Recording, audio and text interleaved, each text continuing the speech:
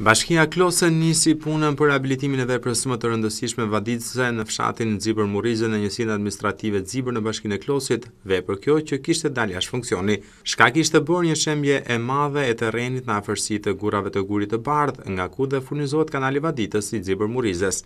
Por prej disa ditësh ka nisur ndërhyrja në të për të bërë të mundur vendosjen në efiçencë të kësaj vepre. Zëvendëskryetari i Bashkisë Klos Armand Gjini tha se janë riparuar treqind metra linearë vepër vaditëse, duke vendosur tuba që sigurojnë kalimin e ujit tek fermerët. Puna e nisur këto ditë pritet të përfundojë deri në fund të qershorit në mënyrë që me datë një korrik, banorët e fshatit Xibër-Murrize në njësinë administrative Xibër, të kenë ujë vaditës për të mbjellat e tyre.